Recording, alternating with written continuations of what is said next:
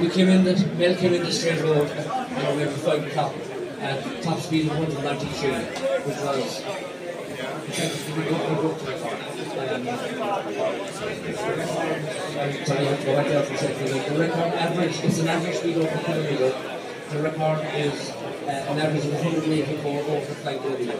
But we came out at the end of at 193, heading into Cork City, centre traffic County Hall.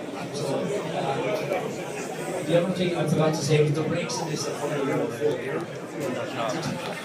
They're, they're, this, this is at the time we're only in their infancy. And the people wheels, like these in wheels, they had to be back, they had to be, um, they had to be uh, x-rayed before the event to make sure that they were the right track.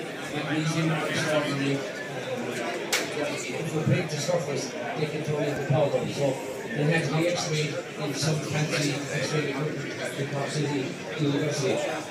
That's just trying to stop from the early 200s coming into toxicity and was a bit of a challenge. Then we were down, down into England in, in 1981. We, tried to be the first team in the to break like uh, 200. Um, promoted both like Kerry and the.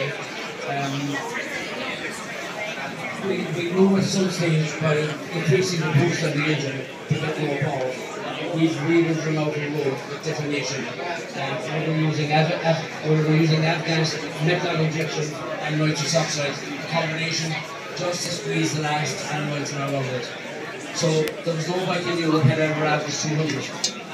I think the, the figure of the Triumph flag bike was in the high, sorry, mid, mid 190s.